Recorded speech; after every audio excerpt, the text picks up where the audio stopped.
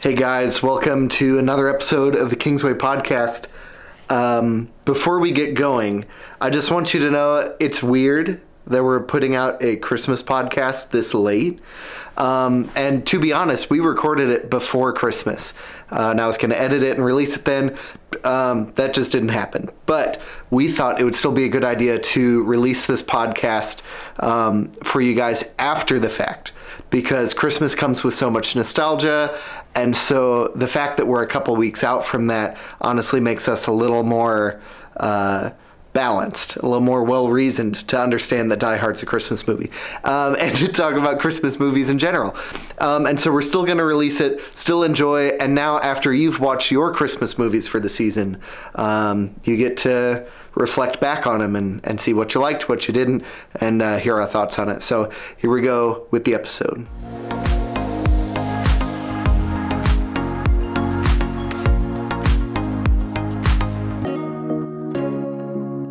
Welcome back Welcome to the to Kingsway Kingsway Podcast. Podcast. So glad you're here, Ryan. You just you can't help. I can't help it. You can't help yourself. Well, uh, it's about that time of year again, where the Christmas music is actually something I want to hear, Yeah. where decorations make sense, Mm-hmm. and where winter is fully showing up. And winter's kind of fun. It is kind of fun uh, for like two days. Two weeks. It'll be like, but right now it's kind of great. when we're filming this, we are staring down the face of a uh, very bad winter storm that is Mhm. potentially coming. Um, so that might tell you when this video, this video is made. But Yeah. um, I read last night wind gusts up to 40 miles an hour and be- minus 30 degrees below zero is possible. Wind chill or like the temperature. Wind chill Whew. minus 30. Yeah. The actual temperatures like between like minus five and minus 10. That's still, I feel like we haven't had minus anything. In We had that polar v- vortex thing. That was the weekend I showed up to town. Yep, that was that's like two years ago, and that that is the only time Yeah. that I was like, wait, is this like uh, day after tomorrow, like the eye of the storm that just freezes Yeah. everything that it goes over potentially? Evidently, this is just normal weather for Canada, but not for us. This is Yeah. very different for us. Yeah. I was listening to another podcast and somebody was trying, they were Zoom interviewing somebody from like Chicago or more up north. Uh-huh. and they were trying to describe Missouri winters. And they were like, we don't honestly get good snows almost ever. We just get ice, and we get ice forever. Always ice, never anything else. And he's like, oh, that's rough. Dude, it is well, and the, the worst part, the worst part for our stuff is like we'll have like like it was last week, like 40s and 50s. Yeah. and Super then in nice. like two days, it's like minus 10. And Yeah. you're like, I'm sorry. Like, I can't imagine ever being like, if, if you didn't have a weather app, you didn't have the internet, you, you were like living in like a cabin and you had to like Yeah. try to winter here. I feel like you would just constantly be like, you couldn't make plans. no, like, or like, Yeah. um, you'd have to like trust the lady that has like the broken knee. That's like, my knee is aching, the storms are coming. Like Yeah. that, that type of like, grandpa's grandpa's shoulders hurt, therefore it's gonna rain in Yeah. two days. The state of Missouri is hiring those people right now that's newscasters. I feel like the older I get, people. the more my my bones are trying to do that. Yeah. Help me. but uh, you know, weather weather permitting, we got some fun stuff planned. Excited for our Christmas Eve Eve service. You've been working really hard on the setup for that here at Yeah. Kingsway, and then obviously we're gonna do a small Christmas service as well, which I'm I'm stoked that we're getting together to that too. So, um, yeah, I uh, I I think we want to do a fun one. Are we okay with that? This I is a think so. fun It's a fun one. I I think This is a fun one. I think for for my own heart, my own sake, I think it's it's just fun sometimes to to just have a little uh, joy, have a little Yeah. peace, have a little hope for uh, some things that are just light and fun. Uh, so here's the debate. You ready? hmm Everybody has that one Christmas movie Yes. that they're like, this has to be watched before it's officially Christmas. Yeah. And maybe, maybe here's I, maybe it's not necessarily a movie. Some of you it, it might be like a cartoon Or a song. or a song Yeah. or or a tradition. You know, like this is what you're gonna do. And, and Katrina had some separate ones than I did. My wife had some separate ones than I did growing up, and she definitely didn't have the movie that I have as Yeah. like the center of my tradition, which I don't even know how it became because it's like one of those that I feel like you either you either love this the one that I have or Yeah. you're like you're either unaware of it or you're like eh, eh, take it or leave it like Yeah. like legitimately um so I'm not I'm not expecting you to even agree I'm not expecting I most of us probably won't. there. but well, you're you're rather disagreeable if I if I may say so myself Yeah. when it comes to these debates but that's that's what the people want so you give them what they want um and I also know we need to have a very uh uh deliberate and distinct conversation about a different movie that Yes. you and I have been talking about off camera. So I'm excited for that as well. So as you're watching this, I want you to start to think about that one movie that you think we should say. That Yeah. hopefully one of us, yeah, we probably won't say, but with maybe we'll. might say. Maybe we'll. we'll. We'll do some honorable mentions. We'll talk through some stuff Yeah. but you know you got a few days and uh, you got a few um few chances to maybe uh catch up if you've missed or maybe you're gonna watch one of these movies because that's something you just forgot about so um Yeah. drum roll uh ryan what's your what's your favorite christmas movie that you have to see every year I'm not going to say the one that I really think because we're saving that for later. But my favorite classic Christmas movie yep is It's a Wonderful Life. yep i knew it It's you want the it. moon i'll get it for you I'll throw a rat It just feels like To Kill a Mockingbird, but seasonal. Yeah. Oh no! I mean, it's got some of the best. And if you if you haven't seen it, I mean, it's black and white. It's an older film. I mean, Yeah. it's not it's not something that. Honestly, I I wonder if the next generation will even pick it up as a movie. Yeah. Like you know what I mean? Like I I hope they will. I think it's worthy of it. Yeah. Um, if you are a Wonderful Life uh, fan, put that in the comments. Hit the like, maybe subscribe, leave us a good review just for that. Yeah. because that's a great movie. I It's can't argue with. There's movie. nothing I can argue about that. I can't.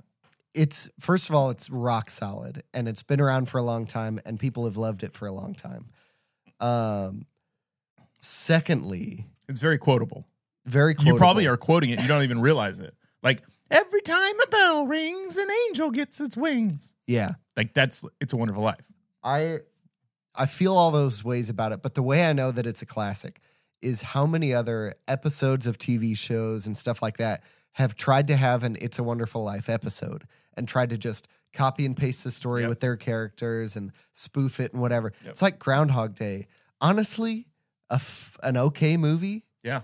But it's a classic because of how much other people have picked it up and tried to do that thing in movies and television and whatever.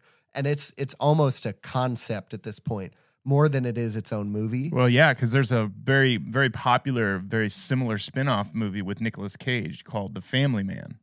Have you ever seen The Family Man? Never. Okay, so it's very similar, where like he's given the opportunity forcefully Yeah. kind of see what his life would have been like if he'd have chosen to go towards this girl that he liked and make a family rather than Yeah. become this shrewd businessman that's like Yeah. in charge. And so the whole movie is just him getting to go back and see that kind of Yeah. and it's dude, it's so good. And it, I watched that one because it's a, it's a more modern version. The black and white throws me off a little bit. I Yeah. have to I have to admit it's it's hard for If me it to wasn't watch. winter, if there was a lot more gray in all the shots, then I I feel that. Yeah. But it's so classic for me that I can't get away from it. I know you're not alone in that. I know that Yeah. people are w- listening or watching and they're they're thinking the same thing. Uh, mine is also very classic. Yeah. Um, no drum roll needed. It, it's very simple. I think I've even mentioned it on here several times in different Yeah. episodes, but it is a White Christmas. Um, the longest, and literally one of my kids went, "This is really boring." Like we were watching it. no, it's not. Honestly, that this may be blasphemous, but that was me the first time I saw The Godfather. Yeah. It was like two and a half hours in. I was like, "Are we still going?" Has anything happened? so they killed a horse. Um, no, I, I, I, I think there's like several reasons that I really liked it. Um, I was really into musicals for uh, a large portion of my life. I, Yeah. I was homeschooled, and the library had a lot of musicals, and so I grew up watching like. I mean, every classic musical you can think of that came to, you know, it's like Newsies was one of my Yeah. favorite movies for a long time, but, you know, watched all the versions. The. Christian Bale one. Yeah, the Christian Bale one. And I don't know, there's there's so there's so many cool little moments. I feel like it's funny. I feel like it's classic as Bing Crosby. I mean, it's just it's just got all these Yeah. like really cool moments and songs and the dancing and and then on top of that the story is just really well done. They have this Yeah. cool full circle thing from World War II. And I don't I can talk about it for a while. I think my favorite reason for liking it is just that it's literally been something that I think I've seen every Christmas of my life. And so Yeah. it like we we put it on the other night. We didn't finish it, but we watched the first half and it was awesome. It's almost like Yeah. it needs an intermission if I'm being real. But it was very, very good. Now there's not even getting the movie. Yeah, we keep we're go- keep dancing We're around. it. dancing around it, but we'll get to it. Not it. even getting to that. Uh, a personal Christmas tradition in Sharon and I's young family. I say that we don't have any kids; just us and our dog. Uh-huh. Uh, we have every year. What what makes it feel like it's Christmas or it's not Christmas is watching all of the Harry Potter movies Yeah, because every Harry Potter movie, uh, first of all, the series is great. We've beat it to death at this point, but the series is so great. And every Harry Potter movie is a whole school year, except for the last one. The book was a whole school year, but Mhm. the they split it into two movies, whatever. Uh, but every every one of them's a whole school year, and you have a strong Christmassy kind of feel in the center. Yep. There's something like winter happens, and it has its own music and its own stories, and usually there's a Christmas storyline, whatever. It's not. They're not Christmas movies. Christmas isn't a vital part of the movie's plot in any way But it's about but, it always has it Yeah. and it always feels right to watch that at that time and this also comes from the kind of i had seen the first three movies Mhm. uh growing up but just like wasn't that interested in them for some reason Mhm. um But and just never matured and grown. I get it. Yes. Well, no, that's exactly what happened. Is that I got married to Sharon. I was 21. It was December of 2016. We got married December 9th and then honeymoon. And then we are waiting for Christmas and uh, New Year's and all that. So we had quit our jobs and we were getting new jobs in uh, January. And so the standard man thing happened where we're just kind of cleaning the house. And she was like, Hey, can we, uh, can I put on a movie just to like put on in the background? I was like, Yeah, whatever. She's like, I'm gonna put on Harry Potter, and I was like, ugh, gross. bleh." Uh, and then maybe four minutes into the movie, I'm leaning on the door frame, just mouth open, drooling, watching it. And for the next three days, this is our first year being married, Yep. first month being married in December, and uh, I watched all eight in three days and was just blown away. I was like, "This is it." So This it, is- it really has like a nostalgic Yeah. connection to you. That- That's amazing. it's it, December is when I first watched it. I don't want to destroy Harry Potter for you, but I have learned some things this week that have uh, messed with me. made it better or worse. I, I don't know. Like I kind of Oh, I kind of have to take it. So I Sorry that this is turning into Harry Potter. So I had but to, uh, but I want to say these because it's really funny. But the, the guy was like, "So why is Jesus in the Harry Potter? He's just doing magic where he's not supposed to and tricking the Muggles into loving him." He's like, "Water to wine. Look, they're like, we did that in third grade. More bread, yeah. All, everybody in the kitchen could do that. Like, like, like it's just so the whole idea of celebrating Christmas in inside that world. He's Yeah. like, he's just a normal guy to, them. And I was like, no. But I also love the thought because it's just like, yeah, the, the spirituality that's in it, of course, connects to the Christian story. And it's not just about that. No, but it made me laugh. yeah, And then the other one was if Fred and George had the map, they would have been seeing Peter Pettigrew sleeping with Ron for two years yeah, before that movie ever came out. yeah. And I was like, oh, that's true. Like, I'm like, like, they would have noticed him anyway. So those are huge. But I agree with you. Every time I watch a Harry Potter movie, which I was watching last night, they feel Christmassy. Like Yeah. there is a part, and I think it's their release dates. I think it's the there's winter in almost every single one of them. And I think if you want to compare it to Jesus, yeah, you can have the weird comparison of of Mm-hmm. everybody has a hold on the supernatural, not just Jesus, whatever. Yeah. But the thing that gets me in the first movie, comparing it to Jesus and Christmas, yeah, is how Harry shows up into um into a world that has been waiting for him. Yep. And he's like, "But I'm just a boy." they're like, Like no. I I spent the last 11 years with terrible parents, but but Mhm. parental figures being a normal person. and it all that whole conversation, that whole thought process makes me wonder like when did Jesus know he was Jesus? Did he know the whole time? Was he one year old, couldn't speak yet, but was like, I'm the son of God? like, or, or did it dawn on him at like some certain age? Or I have did no. his I don't mom tell him? Like, Did his know. mom? Like, I'm just imagining like Mary's holding him, and then he's like does this like very subtle wink. Because I mean, if you want to say like, like he's omniscient while a baby, or he knows he's God while a baby, then like, why is he not just like, I'm hungry, mother, while he's like six, Six months old? Yep. Yeah. So it the Harry first Harry Potter movie. Every time that somebody's like, "It's Harry Potter," and he's like, "I'm just whatever," Just a boy. it it makes me think of Jesus showing up to Earth and being like, "I'm Mhm. just a boy. Yep. What do you want from me?" Like, And then by the end, of course, he's the victor. So let's get to our debate because I do Okay. like this. And honorable mentions from me. Uh, if you're looking for something fun to try new, Klaus is the best thing on Netflix. Klaus, Klaus. K L A U S. Yes, such a good movie, animated, really fun. Also, one that I absolutely love. That's a little bit of a guilty pleasure. Is The Holiday, um, uh, with Jude Law and Cameron Diaz. I've recently seen that, and it was fun. Yeah, it's a, it's just a, it's like a classic. Like Katrina and I really enjoyed and laughed at, and Jack Yeah. Black is just sister. Yeah. He's so good at That's That's him in every movie, though. it is School It of is. Rock and Tenacious D and The Pick of Destiny, whatever.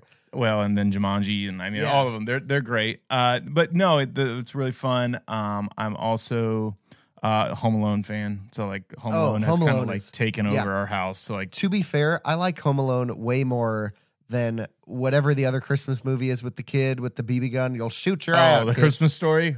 I like Home Alone way better than a Christmas story. I don't know if that's just me like not getting it.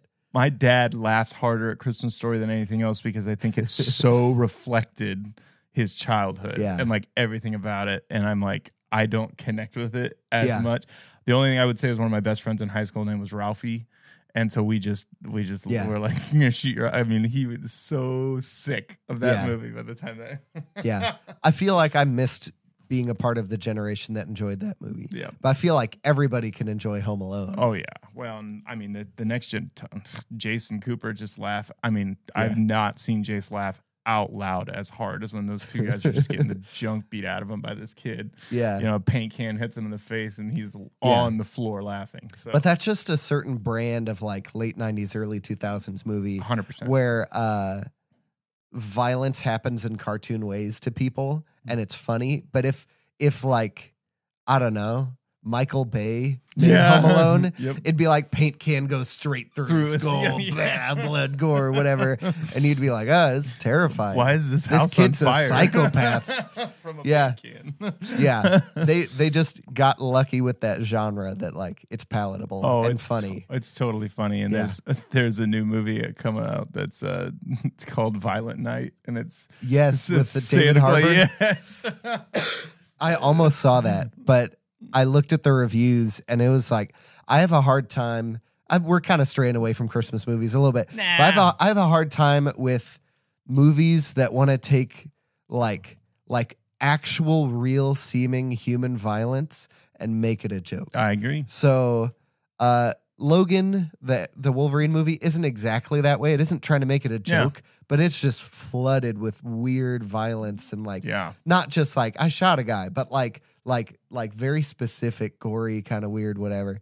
Uh, the Suicide Squad, the James Gunn one, Yeah. the ones before were like serious and gritty and whatever, and that one was like we're gonna try to make the punchline of jokes people's like gruesome, gory death Yeah. and uh, so I, I had a hard time with that. Like No, I can do. I can do Saving Private Ryan because it seems like there's a struggle between good and evil, and people are valiantly putting their lives on the line to Oh, whatever. yeah. That's way different than like this guy had the like goriest shot in the face, face blown completely off Yeah. thing, and it was the punchline of a joke. Yeah. Like I, I have a hard time with that, Mm-hmm. and that's why I think I can't watch Violent Night yeah. No, because. It just made me laugh when I read the title. Yeah. And I was like, And I, read the synopsis, I and I was wouldn't like, it. And I wanna watch I don't but- enjoy movies like that as much either. I'm I'm much more of a storyteller. I, I don't like boring movies. Like that's I like adventure movies. Mhm. I Those like are like my favorite. Sahara is like one of my favorites, and it's like the most random Yeah, B film on the planet. Um, Yeah. So let's get to our debate because I think if people are still listening um, and are curious, we are going Yeah. to have an age-old debate that has rivaled probably almost any other debate on a Christmas movie. We may have had this debate before in a podcast about a year ago, but new evidence, New has come has to light. emerged. So we're talking about Die Hard. The greatest Christmas movie of all time. It's a classic. It's a classic in the same way that It's a Wonderful Life is, where people want to take that movie as a trope in other movies and TV shows. It is a classic. I will give you that. I think it occurs at Christmas time, but Agreed. it is not a Christmas movie. Disagree.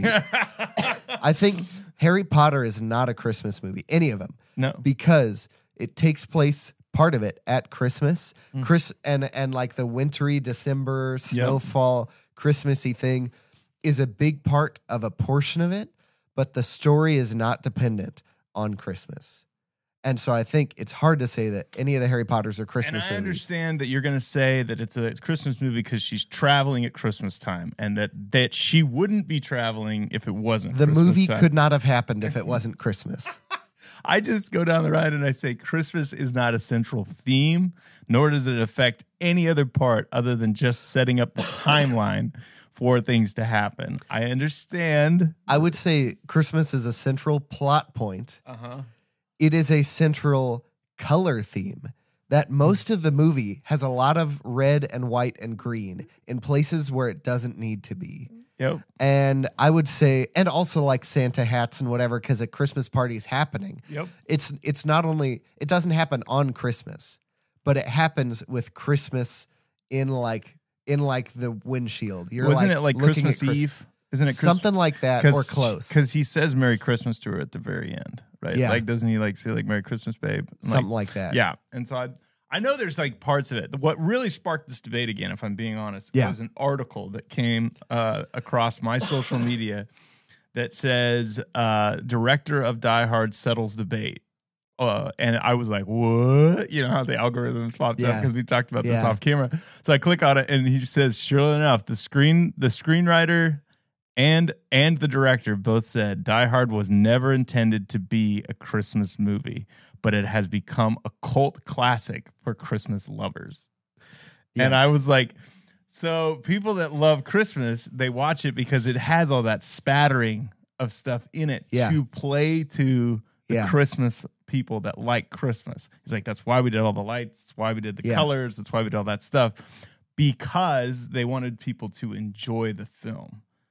Yeah. And so it, it in in some ways this debate is going to rage on forever because they're like you you unintentionally made it so Christmassy that the debate rages on. Yes. Because in my mind, I'm like, that sets the record straight. It was not intended to be a Christmas movie. But he never fully says, but I don't believe it is. And Yeah. so that like, And I think you that- did nothing. I have two points about that. One, he didn't say it's not a Christmas movie. No. He said it, we didn't intend for it to be a Christmas movie. Mm-hmm. But I'm assuming that the director and the screenwriter or whatever Mm-hmm. are both people who grew up in the US, grew up celebrating Christmas. oh yeah. They threw subconsciously their own appreciation for Christmas and they're so hard that even if they didn't intentionally mean to make it a Christmas movie, they did. Oh yeah. Well, and you can tell. I mean, when you watch the film, I, I haven't watched Die Hard, um, maybe in a couple. Ah, it's probably been a year, maybe two.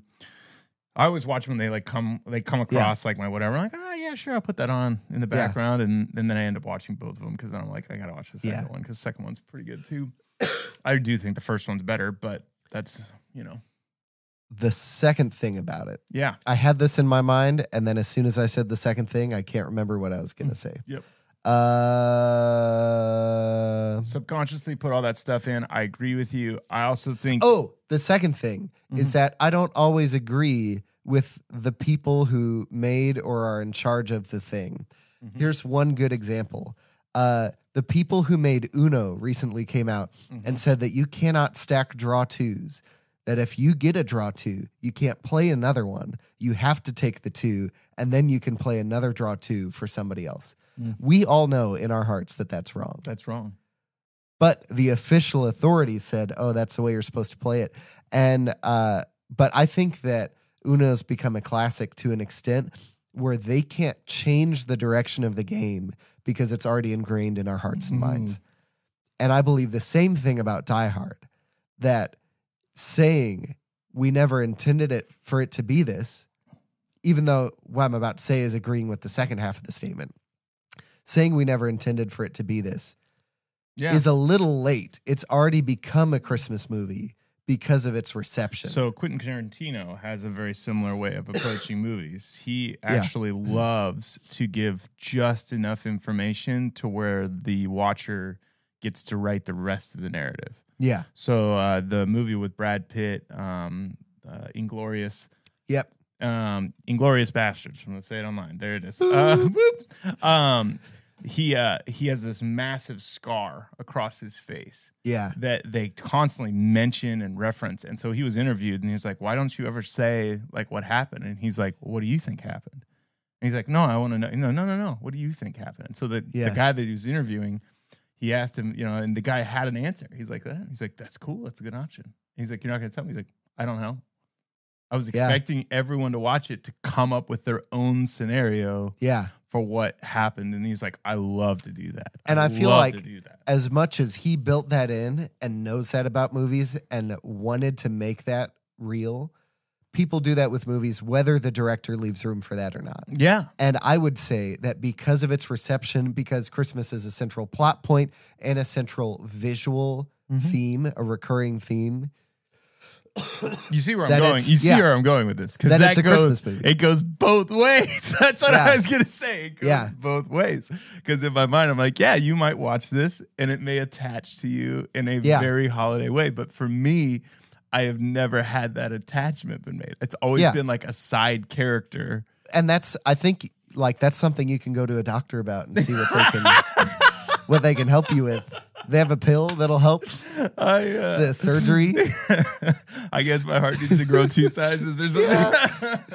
That's the other thing. yeah. Having I feel like a lot of people don't want it to be a Christmas movie because it has strong antagonists. Yeah. But if you think that, then you have to think that The Grinch is not a Christmas movie. Mhm. It is a movie centered where the protagonist is the antagonist. Yep.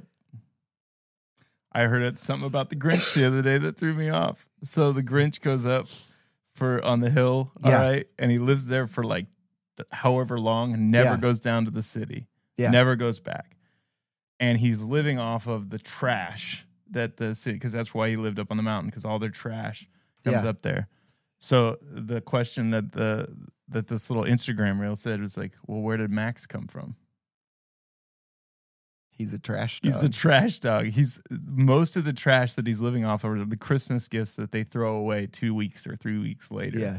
So he would technically be the puppy that some kid down in Whoville didn't want anymore and put in the trash. That's likely. But in my Tarantino way, it's also possible that he could have run off Mm-hmm. and been living off the trash Yep. and Yep. and the Grinch found him Yep. living off the trash while he was also living so that's how he made his friend. I just found it funny. be. I was like, well, that's uh, debatable, but also Very sad. yes. So, well, I appreciate you guys listening. I'm very curious in the comments what your standout movie is and whether or not uh, Die Hard is a Christmas movie. I need I need If to know. If you think it is, welcome to the club. we have your robe and your badge waiting in my office at the church. If you if you- think that it's not, comment why in the comments or email us at ryan at kingswaymo.com and uh, I will destroy you. I will end you brave, brave soul. Die Hard please facts. come to my rescue. I just need you guys to know that I have Sharon's given me two or three good Die Hard Christmas things. Uh-huh. One's an ornament. Um, there's a scene in the movie where he's crawling through the air vents. Yep. And she gave me an ornament that is literally a little wooden box that's Mm. gray with the picture of him crawling through the. It's right there. I love it. The other thing is she gave me a Die Hard Christmas children's book. It's a little bloody but but it reads. It's the size of a, of a children's book, and it reads just like a children's book. And it's the movie. oh my gosh. Well, no wonder this is so close and near dear to your heart. That Yeah, makes more and more is. sense. she Well, understands me. Uh, thanks so much for uh, tuning in, and guys, I I hope that you have an amazing Christmas with your families, and that you get to experience some of the joy and peace and and hope and love that only comes from Christ. I hope that you really remember that Yeah, as much as you can be distracted by material things or opportunities or or even experiences. I hope that you choose to ground your hope and your peace and your and your love in what uh, Christmas is all about. Yeah. and that's Harry Potter. No, I'm just kidding. That in is. Jesus. So I uh, I really I really um thankful for all those that tune in that lo- that watch that listen the feedback that we've gotten and we're excited for another year of uh, growth and new experiences Yeah. and new conversations and uh, possibly new people even on the podcast as well so as always leave a review uh, click the subscribe button share if you can and uh, have a great and glorious day in the lord bye mom yippee ki podcast listener. Woohoo!